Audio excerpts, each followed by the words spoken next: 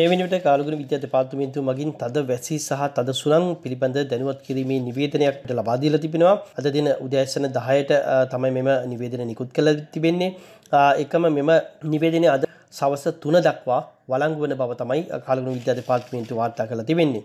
නිවේදනයේ සඳහන් වන පරිදි හික්කඩුව සිට ගාල්ල හරහා මාත්‍ර දක්වා වෙරළට ඔබ්බෙන් වන ගැඹුරු සහ නොගැඹුරු මුහුදු ප්‍රදේශ සඳහා තමයි මෙම නිවේදනය නිකුත් කළ තිබෙන්නේ. දිවෙනේ නිරිත දෙසින් වන මුහුදු ප්‍රදේශවල පවතින ක්‍රියාකාරී වළක්ලු පද්ධතිය හේතුවෙන් හික්කඩුව සිට ගාල්ල හරහා මාත්‍ර දක්වා වෙරළට ඔබ්බෙන් සහ ගැඹුරු සහ නොගැඹුරු මුහුදු ප්‍රදේශ වල තද වැසි සහිත තත්ත්වයන් සහ පැයට කිලෝමීටර් 70ක් 80ක් දක්වා වූ තද සුළං සහිත තත්ත්වයන් ක්ෂණිකව ඇතිවීමේ හැකියාවක් පවතිනවා. එම මුහුදු ප්‍රදේශයන් ඉතාමත්ම රළු වෙන බව තමයි කාර්ගුණ විද්‍යා දෙපාර්තමේන්තුව වාර්තා කරලා තිබෙන්නේ. දීවර හා නාවික ප්‍රජාවන්ට මේ පිළිබඳ ඉතාමත් ඉතාමත්ම දැඩි අවධානයෙන් පසුවෙන්න කියලා අපි ඉල්ලා සිටිනවා. විසියලුම දිස්ත්‍රික්කල අපදා කළමනා කරන ඒකකයන් එකම දීවරංශයන් නාවිකාංශයන් පොලිසිය සහනිකුත් පාර්ශවකරුවන් මේ පිළිබඳ දැනුවත් කළ තිබෙන්නේ. අවශ්‍ය පණිවිඩයන් එම දීවරංශය වෙත ලබා දීම සඳහා අය පිළිබඳ අවධානය යොමු කරන්න 117 දුරකථන අංකය ඔස්සේ සියලුම දත්ත යවත් කලින් වෙලා පවතිනවා.